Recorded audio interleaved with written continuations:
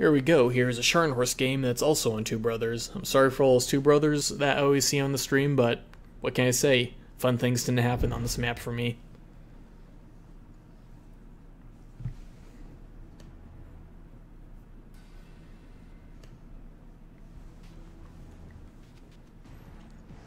And right here we actually have the glorious return of Mr. Lukas Dietrich, who was off on leave from the clan for a little bit because of some health issues.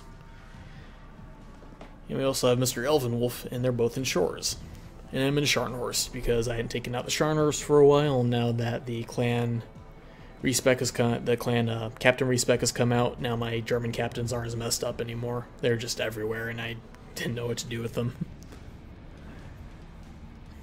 And so on our team we have a Nelson, a Scharnhorst, Nagato, and a New Mexico. They have a King George, a Gneisenau, a Nagato, and a Bayern.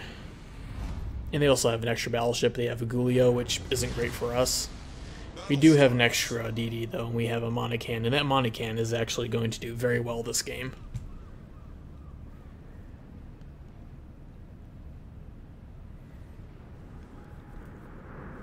Now they have a York, which can be a good long-range spammer. Graf Spee is alright too. Dallas and Atlanta are close range, so if uh, Lukas and Elven manages to get some range out on them, then it's not going to be much of a problem. The Fujin is always a problem because it's a freaking Fujin. The Kotnik I'm not super worried about because on wide open maps like this it's less effective. And yeah, we decided to go A.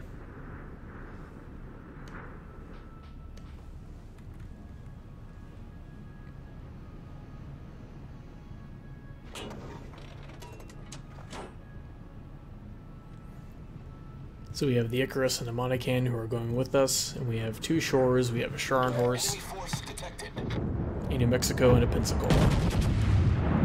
There we go. We start trying to get some shots off on that Graf Spee. Sadly, I forget that the Scharnhorst actually has really fast guns. No damage there. And nice and angled, and that's a Giulio. Giulio may be good, but even his AP shells aren't going to do much to a tier 7 we go, I'm only going half speed now. Because I'm kind of the guy being shot at a lot, and this thing is not the Roma. It's tanky, but it's not the Roma.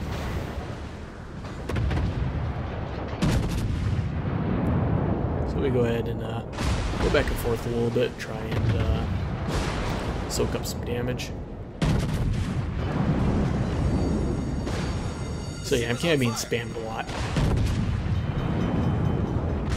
So I decided to go forward and try and turn a bit before it gets nastier. And also because that Nagato just went behind the island and he can't shoot me now. We'll pull out a bit so we can let the DD spot a little. There we go, that shot on the Graf Spee is much better. And the Monk trying to smoke me again. He, I mean, it, it was a good effort.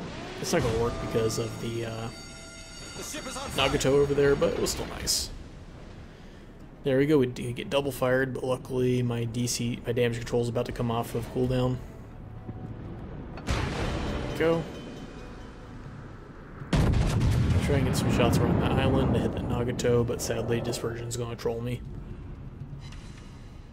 Yeah, one ricochet. Problem solved, sir. I come out because I have to turn before that Nagato comes out, otherwise I'm not going to be able to escape. And of course get double fired again because it's a King George and they have like a 50% chance or, or something ridiculous on their HE shells.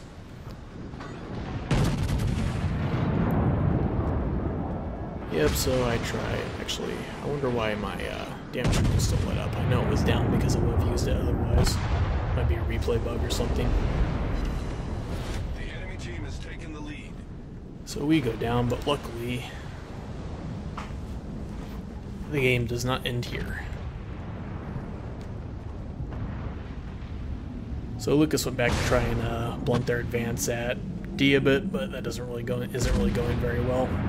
Elven's still back there trying to get some stuff done too. At this point, really need these DDs to do work. And Lukas kind of is forced to go right down the slot. Luckily, they're so far extended on the east side that he can actually get through without getting murdered instantly, so that's good. Yeah, this is not looking good because we only have, well, we just, uh, we killed three of them now, so that's good. but yeah, we're half the team's down. so this isn't super great.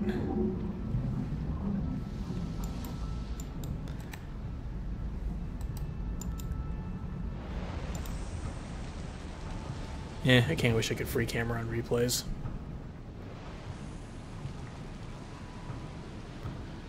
Luckily the Icarus is going to torp the Nagato, and Lukas is going to take C-Cap.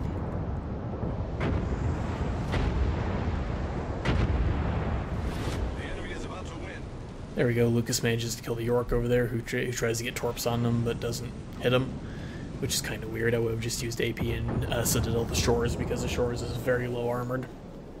Very lightly armored. Uh, Nagato took some stuff, so the Icarus is shooting at him now. Elven's going to help.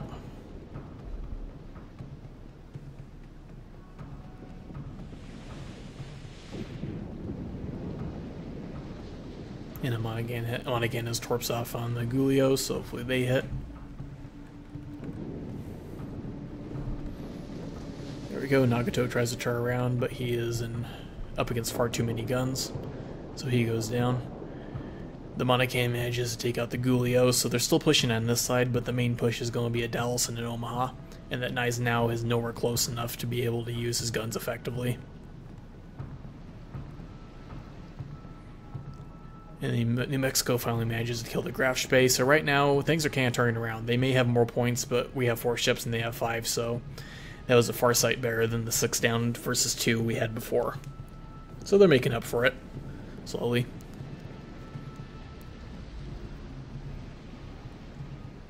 So Lukas comes around from uh, C-Cap over there, and Elven is right there, so...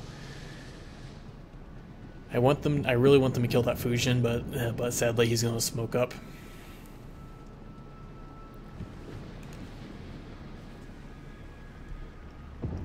Go. The Omaha and are up. Lukas has come around the corner, so they're going to start shooting the Omaha.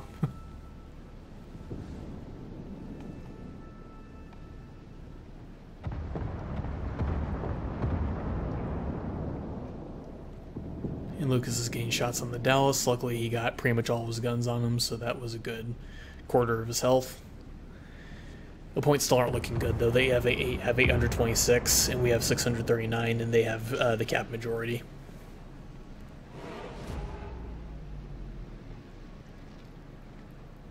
The Dallas temporarily disappears, but he does come back.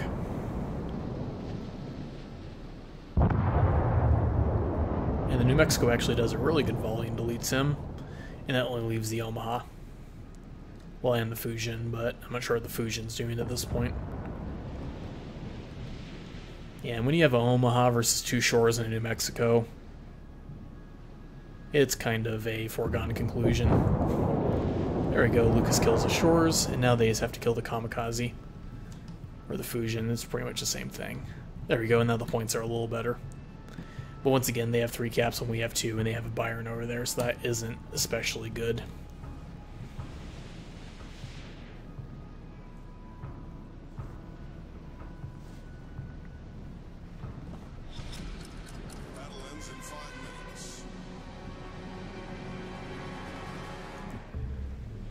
There we go. For some reason, the uh, stream Okay, yeah, it was cutting off the bottom. Yep, there's a Fujin. He's trying to run away. They really need to kill him if they want to actually... There we go. Monaghan actually gets a torp on him, so that is another problem taken care of. Now they only have two battleships, and uh, we have two Schors, a tech, a uh, New Mexico, and a Monaghan. We're still not looking good on points, though.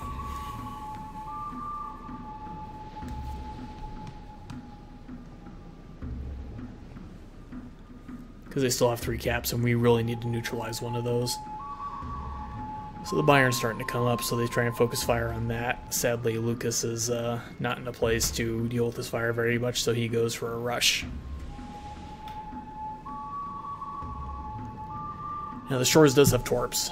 They're really short range, but they do a lot of damage, so if, if uh, Lukas can get close enough, he can probably take out that Bayern if it doesn't citadel him through the nose because the Bayern has very big shells and the Schors does not have good bow armor. So at this point, it's mostly a DPS race to see if they can kill the Bayern before it kills Lukas.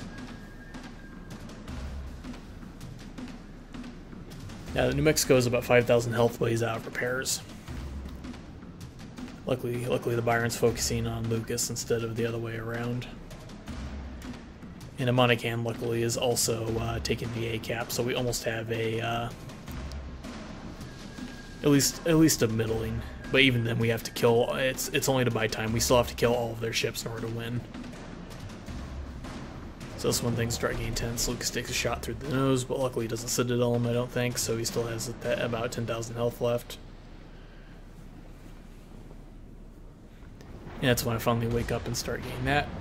Elvenwolf just got the Confederate. Both he and Lukas have it now. So there we go. There goes the Torps.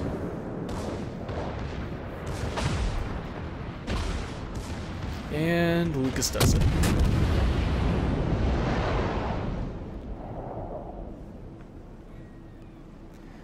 So now I tell him to go and try and uh, turn off that decap because we have a very, very slight points lead right now.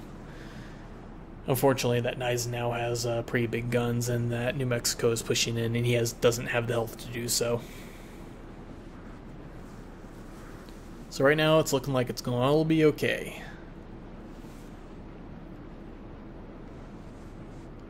There we go. There's some good torps on the now. He's about half health now.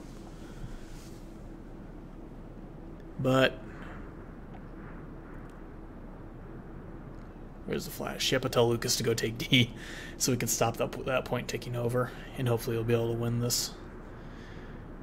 Though probably better just have him go charge the Gneisenau. But then again, if the Gneisenau got a lucky shot on him, it could have uh, lost us the game. But yeah, the New Mexico's going in. He really doesn't have the health to be doing so.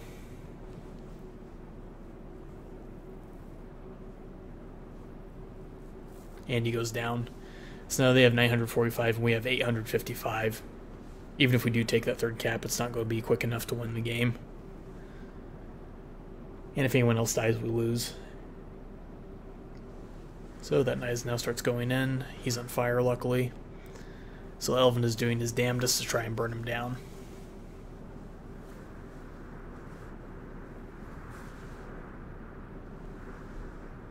There we go, see? Sadly, the Destroyer just took a hit. Yep, see, 4,000 health, 3,000 health. Come on, get him, get him. 977. If someone dies, we lose right now. 2,000, 1,000. And luckily, they do it. And we win by the skin of our teeth.